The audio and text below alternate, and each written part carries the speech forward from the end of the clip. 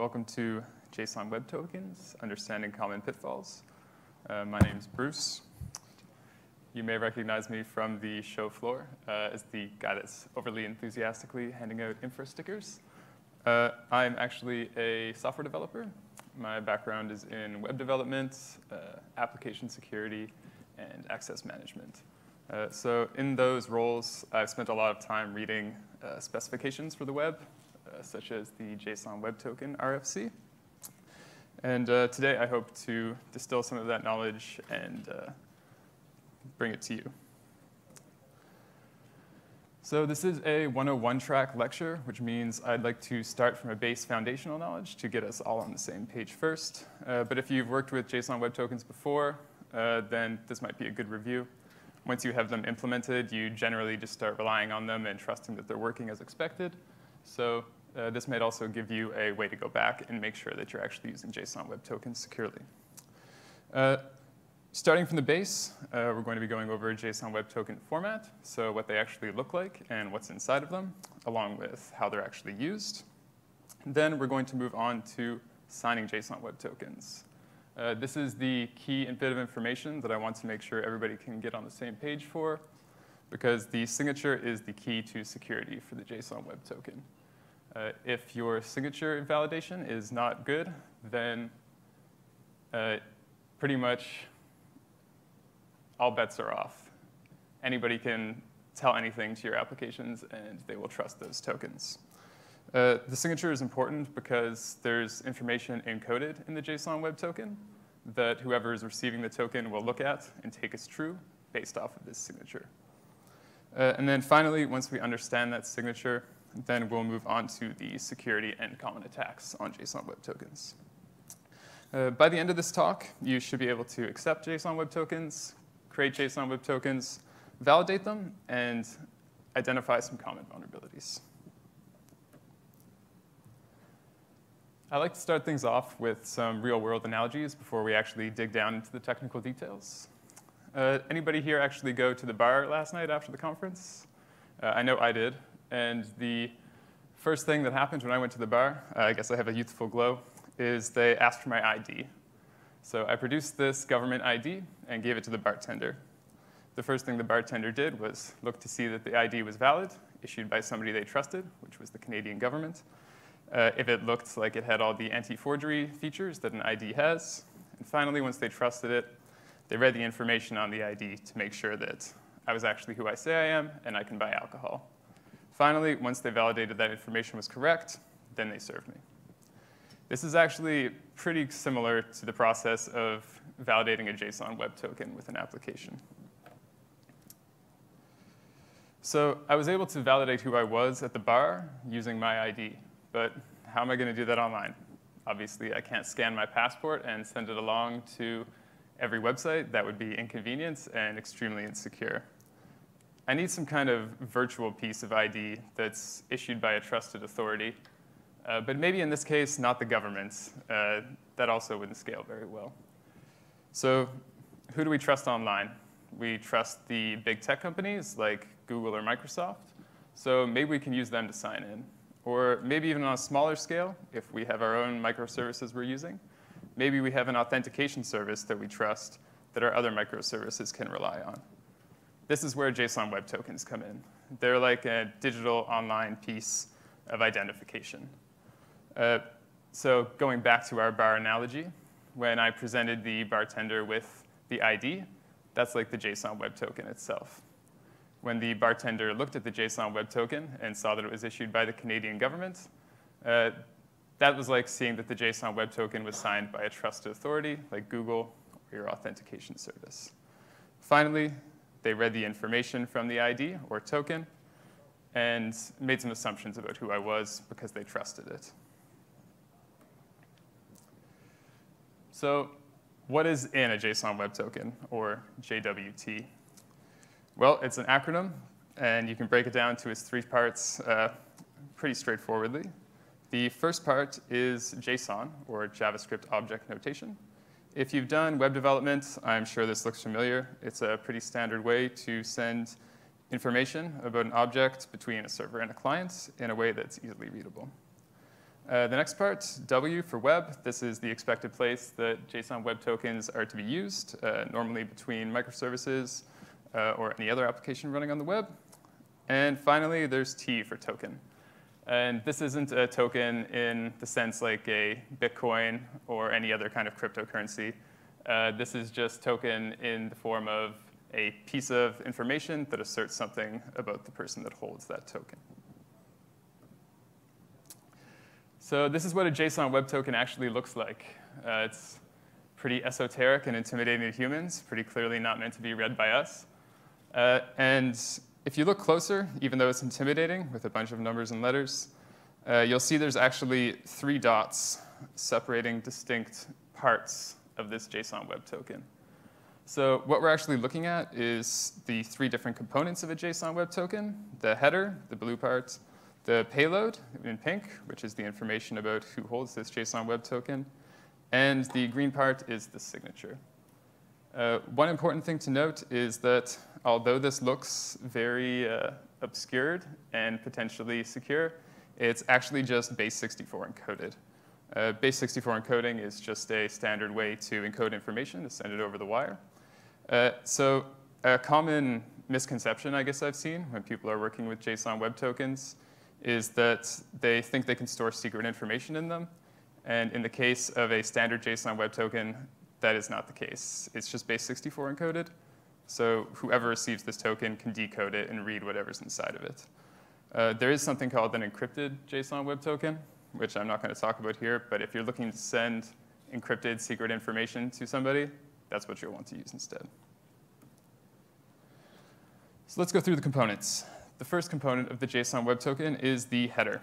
So this is information about how the token should actually be validated by the party that receives the token. Uh, in this case, you can see that it's specifying the HS256 algorithm was used to create the signature.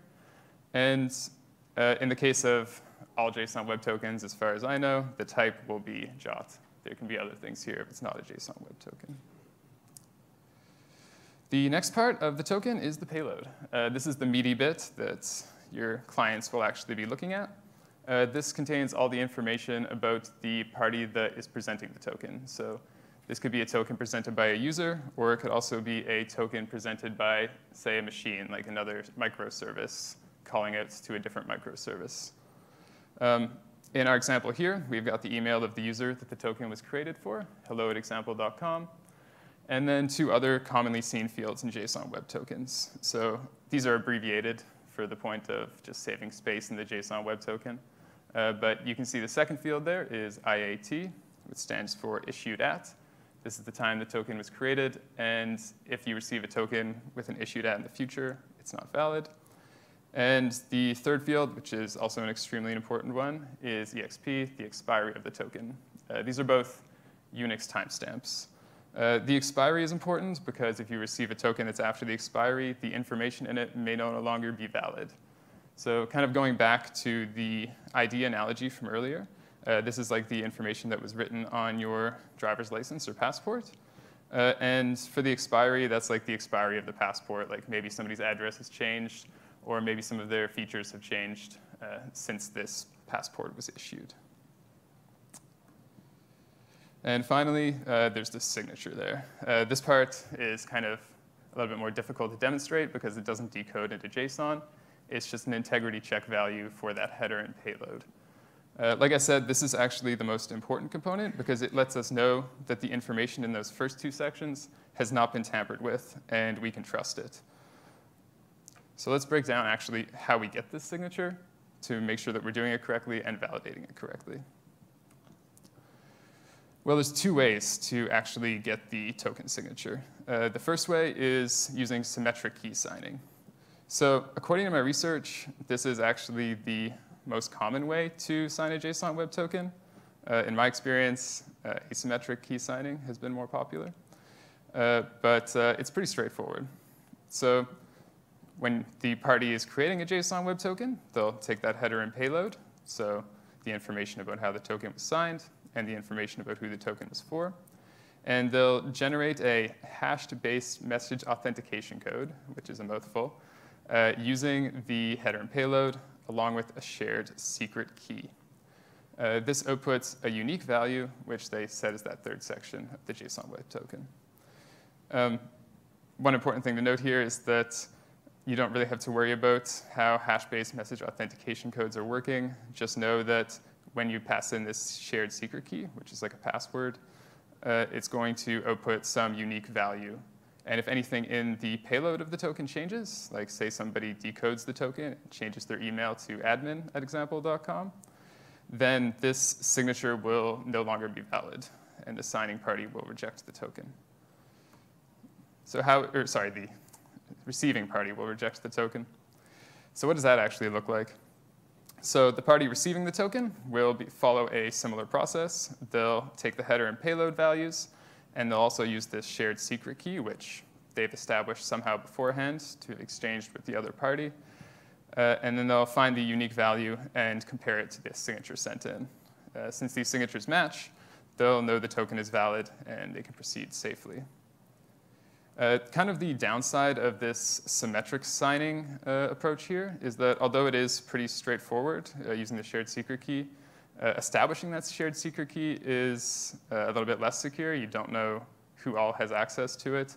So since the person validating the key has that same password, secret key, they could also generate tokens that would be seen as valid. And if there's other people that are validating those, those tokens, then you can't actually tell who it came from since the key is distributed. Uh, due to this, uh, I've used asymmetric signing more. Uh, this is a good approach if you've got a bunch of microservices and you've got one service that's only focused on authentication. You don't want the other services to be able to create their own tokens at all. Uh, so asymmetric signing is like how a cryptocurrency wallet works. You've got a private key and a public key, and the private key is only held by the authentication service. Meanwhile, the public key is available on some endpoint for anybody to access.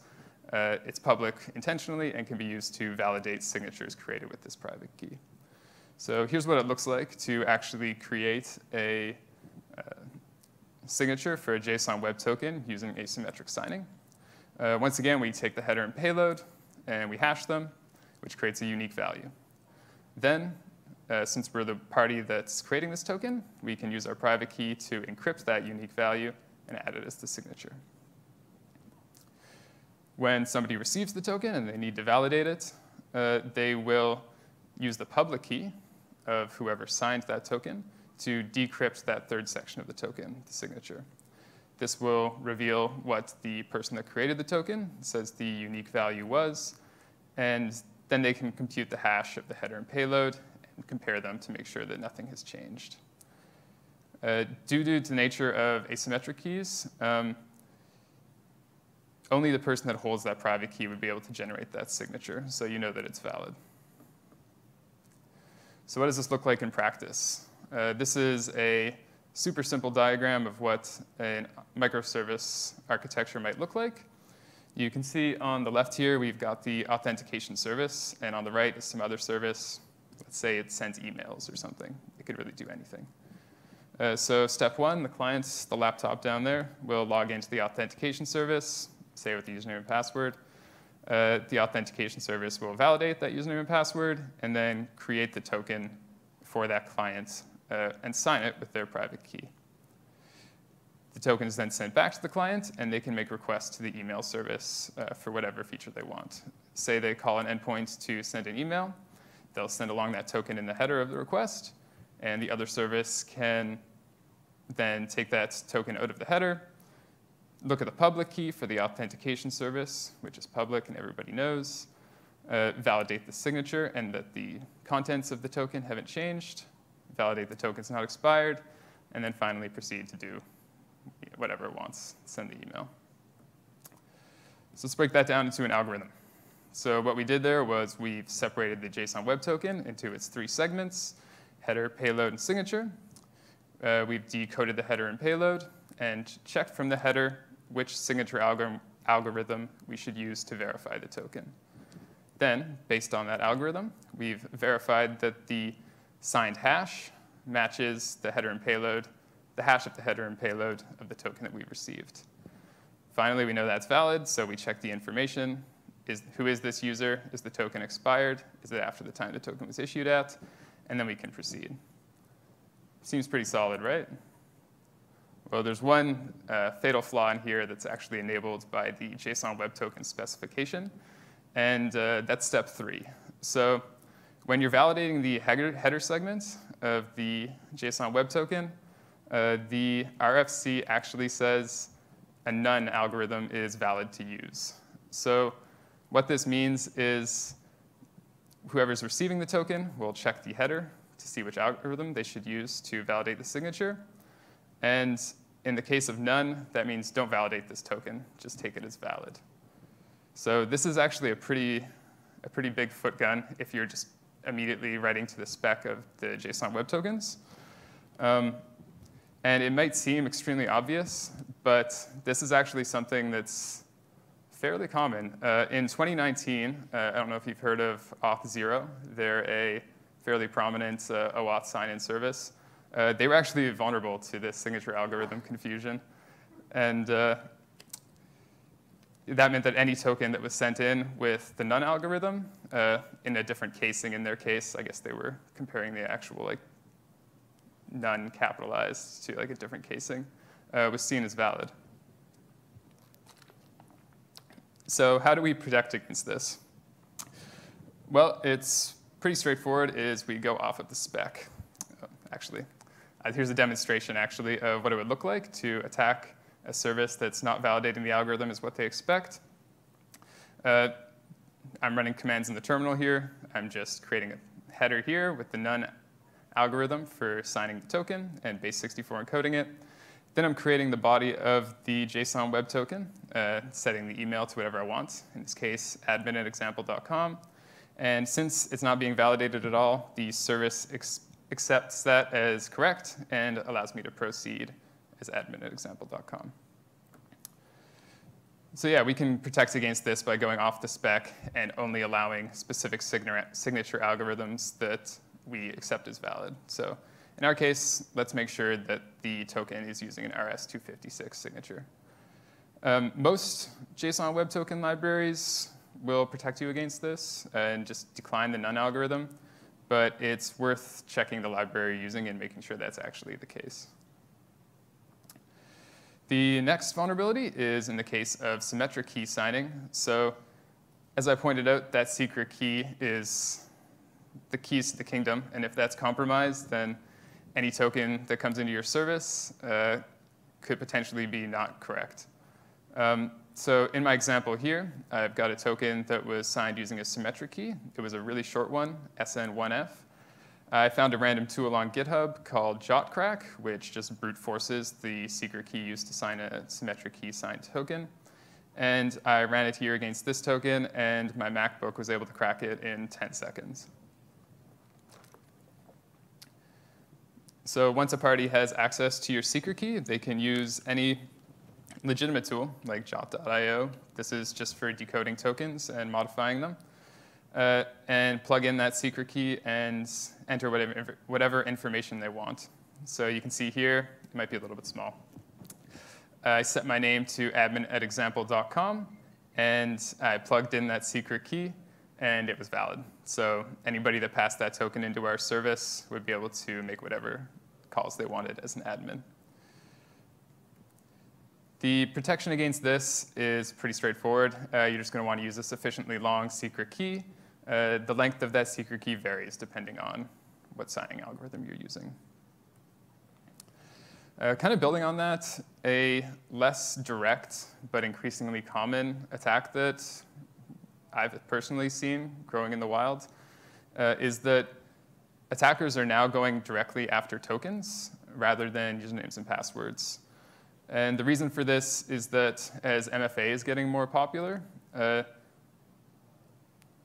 if you have a username and password, then you still need access to whatever the second form of authentication is. So maybe you have to like simjack them and get access to their actual phone number to do like a text verification or something.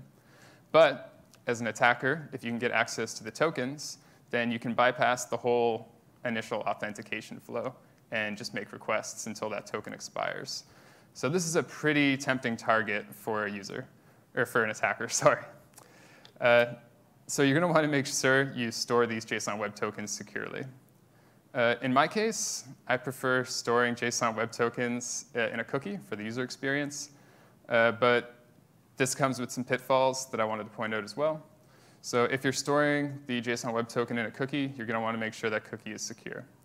That means using an HTTP-only cookie, which can only be sent, or sorry, HTTP, yeah, HTTP-only cookie, which uh, can only be accessed when sending requests. It can't be accessed by JavaScript, which means no malicious scripts in the browser can actually uh, access that cookie. Uh, you're also going to want to make sure the cookie is set to secure, so it's only sent over HTTPS. Nobody intercepting the traffic will be able to read the cookie in that case. And finally, if you're not doing some fancy redirects for single sign-on, then you'll also want to set a same site flag on the cookie, probably too secure, so that it can't be sent across redirects. Uh, the other option is to actually not store cookies at all. Uh, this means just keeping the JSON web token in memory uh, while running your application. But uh, that's a little bit of a trade-off for user experience because if they refresh the page, they'll have to log back in. Uh, as you saw in both the signature algorithm confusion and uh, secret brute forcing attacks, uh, the most important thing is definitely storing your keys securely that you're using to sign these tokens. Uh, the best thing to do is to store the key in a place that it can't be accessed at all, like a hardware signed hardware certificate manager or something like that, like AWS HSM. Uh, I'd recommend something like AWS Key Management. So only the parties that are expected to be able to access the key can access it, or something like Vault. So that's more auditable. Anybody calling in to access your keys, you can see who's using them. And in the unfortunate case that your secret key actually is compromised, it's much easier to roll it uh, if it's contained only in one place. And you can go change it there rather than finding everywhere the secret key is just stored in the environments and going and change them individually.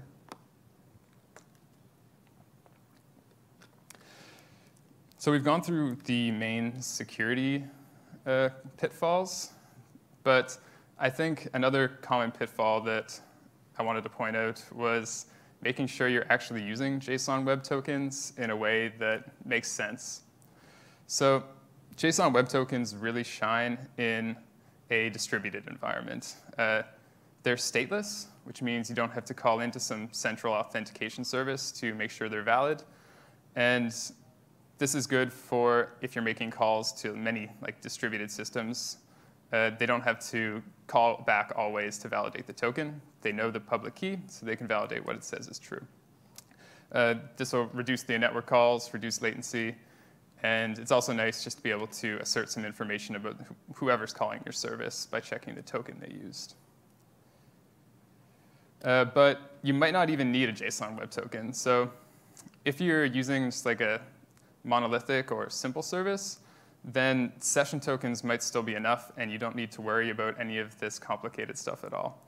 So it's tried and true just creating like a simple hashed secret to send back to the users uh, and then validating that when the request comes in if you have quick access to the database. Um,